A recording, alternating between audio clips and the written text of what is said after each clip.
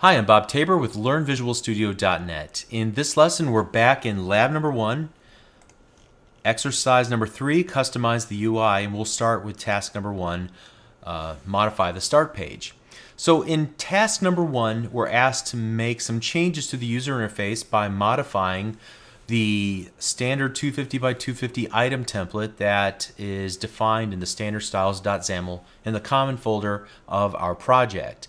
Uh, and that should affect how the recipe data items are displayed in the grouped items page, the start page for our app. But before we do that and take these steps and perform these actions, I want to step back and get a larger picture of what's going on here. You know, Microsoft requires apps that will be submitted to the Windows Store to follow a number of guidelines. And I want to bring your attention to two specific requirements. The first is with regards to scaling. The app UI should look great on a variety of form factors, from 10 inch screens at a 1024 by 768 resolution up to 27 inch screens running at 2560 by 1440 resolution. Similarly, an app can be in a number of different UI states, including landscape, which is the default, portrait, and then snapped and filled view, which we've seen, uh, I believe, in the first lesson of this video series. And we could use the simulator and kind of walk through all these scenarios snapped, filled, portrait, landscape, large screen, small screen, and so on. But the key idea here is that the layouts are flexible. And so flexible layouts that adapt to all these scenarios are important to Microsoft because they're important to Microsoft's customers and ultimately to your customers, all right? So how do you actually create flexible layouts? Well, building flexible layouts that work equally well in all of these various states and scale nicely across these different resolutions could involve a lot of hard work. Fortunately, we can use the built-in XAML controls in the Visual Studio Grid app template, which handle a lot of the complexity for us. So in the Grid app template, each of the three pages have a different layout as we've seen already. All right, so let's open up Visual Studio and we're going to start in the grouped items view .xaml. And we've already looked at this several times, and you're probably sick of looking at it at this point. But uh, just a reminder, we have an outermost grid that controls the overall layout of the page, and then we have a grid view that rests inside of it. And the grid view is what displays the recipe groups and the items. And so here we go, beginning in line 40, you can see that there's quite a bit going on in the definition of the grid view. And it looks like there's a lot going on here, but what I want to do is dissect the most important parts. So first, remember the hierarchy of our data, that a group, like Chinese food, owns individual items, like Chinese food recipes. The page contains a series of groupings, and each grouping represents the group and its associated items. We're only displaying the group's title, but we're also displaying each of the associated items in large squares beneath the title. Now with that in mind, the XAML that we see at a high level are in two main sections. There's this grid view.items panel, and then there's this grid view.group style. Okay, so let's start with the, the first one and, and ask ourselves the question what are these here for? Well, the items panel defines uh, the entire area that's available for the data, both groups and items that will be displayed. And the uh, items panel template is just that. It's a template for how the items in the panel will be displayed. It defines inside of it a virtualizing stack panel. Uh, stack panels are used to stack controls horizontally or vertically, so we'll be stacking each of the items, in this case horizontally. A virtualizing stack panel, a special kind of stack panel, however, adds a twist. It says to our data source, hey, don't give me every single item that you can pull out of your data source. Say you have thousands of, of items, thousands of recipes. I don't want all of those. I only need as many as I can display on screen uh, at a time. So first it determines how many could possibly fit into the display area at any given time by determining the amount of space required to display all the items versus how much screen real estate is available in the given device. Then it has some plumbing that works with your data source to save memory and processor resources and only grab what it needs. from your data. All right. And I have greatly oversimplified this, but hopefully you get the idea. So just out of curiosity here, let's uh, let me change the zoom level here so we can see a little bit more of this. There we go. What if we were to change the orientation from horizontal to vertical? How would that change uh, what is displayed on our app? And you can see that instead of horizontally displaying all the groups, we just see a single column of groups and all of their items beneath it, all right? So the grid view items panel controls the entire viewable area for all groups and their items. And so let's set this back to horizontal. All right, and that looks a little bit more like what we're accustomed to. So it's easy to confuse this, this grid view items panel with something that we're going to learn about a little bit later, which is the uh, group style dot panel. This affects how individual items are rendered within a single group. Now, you don't have to memorize this or anything, just be aware that there's a difference, and we'll come back to that in just a moment. So we just finished talking about the grid view items panel, and it affects how the entire the entire set of groups and items are laid out in our app. All right? So next up, we're going to take a look at the group style. Grid style. The group style, it obviously comprises the majority of the definition for the grid view. Uh, inside, we see that it has a group style dot header template, and then it has the group style panel, which I referenced just a moment ago. So let's take a look at this group style header template. You might think it's odd that, for example, there is a button inside of this, but this is what allows the user to click on the group title and navigate to, for example, the group detail page, where we can see more details about a particular group. The button's style attribute is statically bound to something called the text primary button style, and it is defined in the standard styles.xaml. Do you remember how to easily get there? Let's go into the miscellaneous category for in the properties window for our button and under style you can see it's bound and I'm just going to click go to source. That'll open up the standard style with the button selected with the button style selected rather. And so this um, this text primary button style here defined on line 228 is based on or rather inherits from a text button style. Uh, where is that defined? Well, we could use the find, you know, control F to find it, uh, but I think the easiest way would just be to look at the line number and follow along here. All right, so line 152, which removes, if you take a look at what it's doing here, it is actually removing the typical attributes of a button like the border and such. The only thing that the text primary button style adds is it sets the foreground to this static resource application header foreground theme brush. All right. Now, if you search for this, and let me just make sure before I lie to you here. Yeah, if you search for this actually throughout the entire the entire solution, you're not going to find it. And you might be thinking, well, what gives? Where is it defined?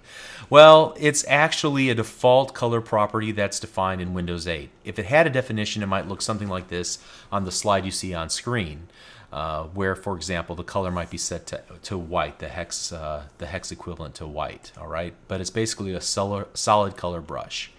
So there are some implicit system-defined brushes that we're simply not privy to, or at least not in Visual Studio. Uh, and then there's ones that are explicitly laid out here in the standard styles and so on.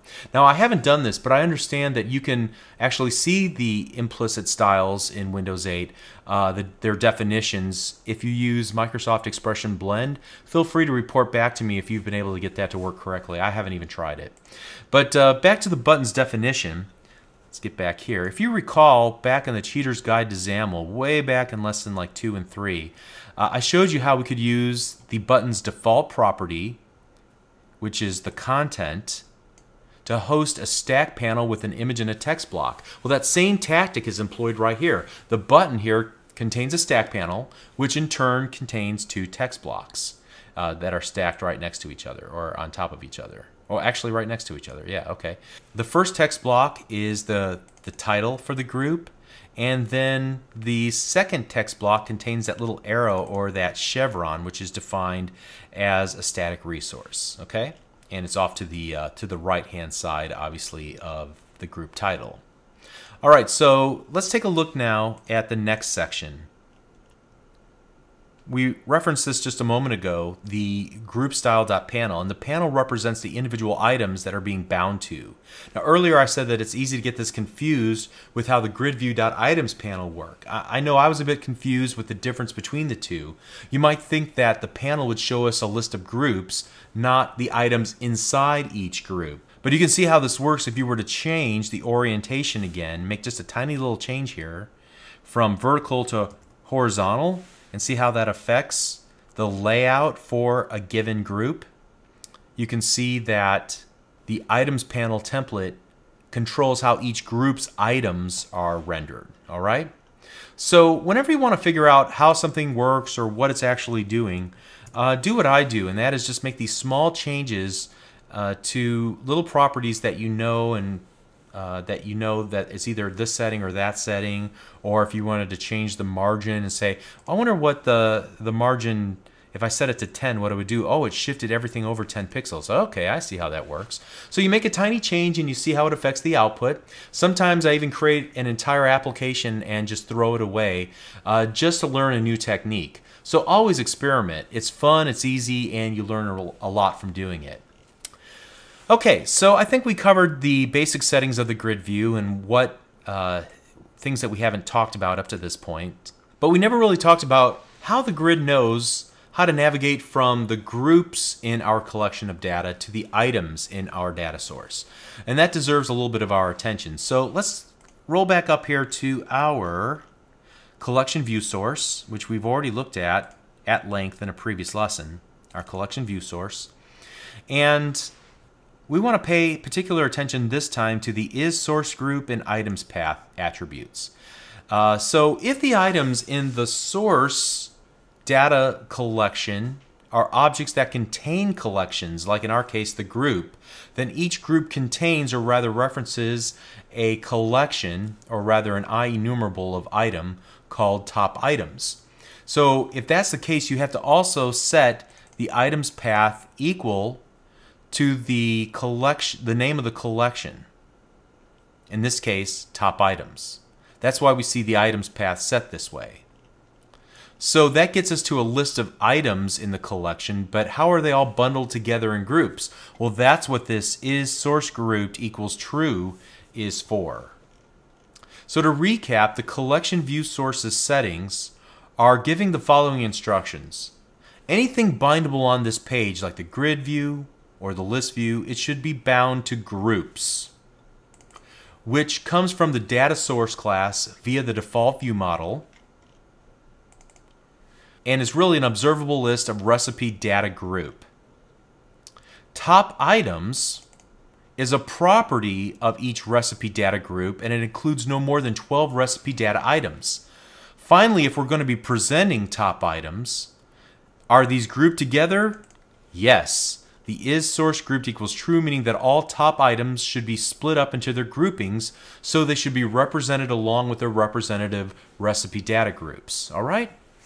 So that is the meaning of those two attributes and how they allow us to navigate from group to items and keep everything kind of bundled together. All right? So let's get back to the, uh, the data template for each of the items, which is defined in the grid view in this item template attribute. We've already looked at this once.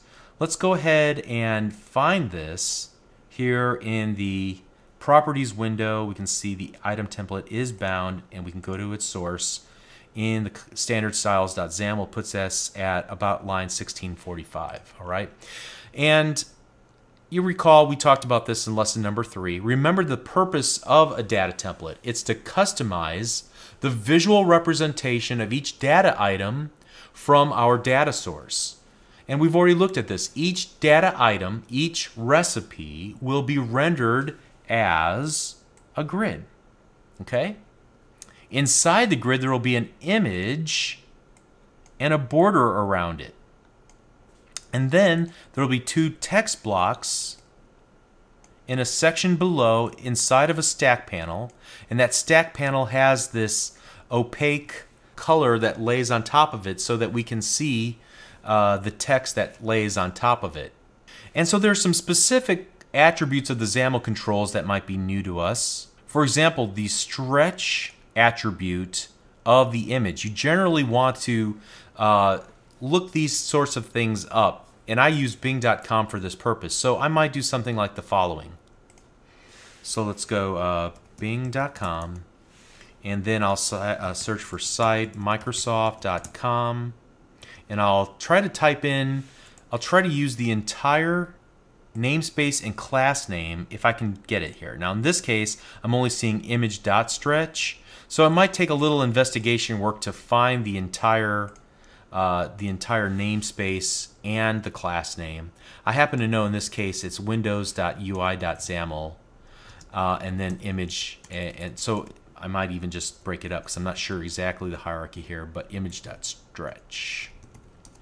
And when I search for that, it should take me somewhere within Microsoft.com. And because I specified uh,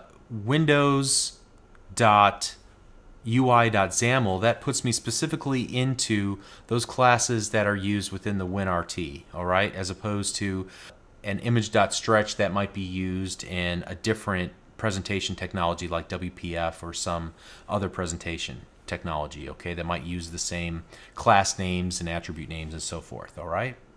So at any rate, we learned that the stretch value is actually an enumeration.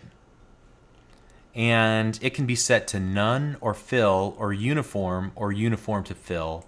And this dictates how the image will fill the area of the rectangle that's available for displaying the image, assuming that it can't fit nicely given the difference in proportions between the image and the area that it needs to fill.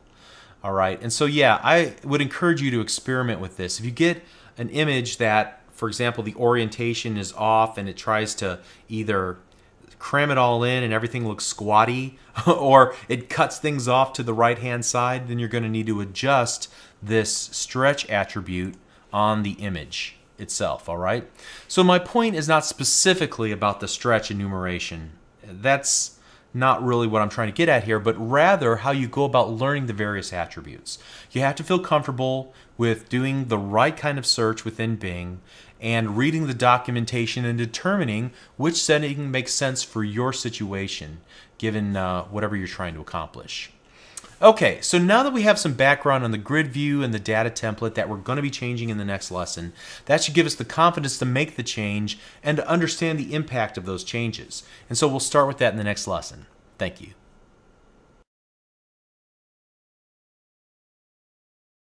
Mm-hmm.